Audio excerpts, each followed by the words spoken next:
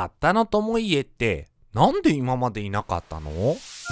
市原隼人さん演じる13人の最後の一人八田の友家義経とバトンタッチのタイミングでついに登場しました。ドラマではこのタイミングですが本当は結構序盤から味方になっています。戦国時代のフェニックスこと織田氏春のご先祖様。お姉ちゃん